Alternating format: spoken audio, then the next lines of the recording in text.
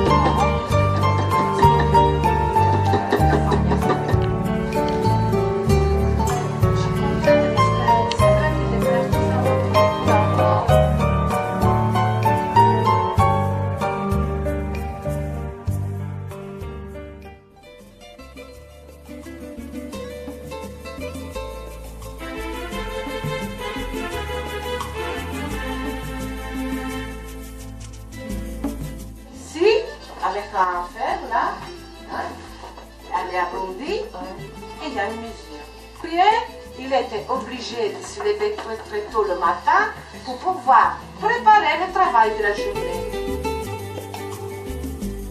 la journée.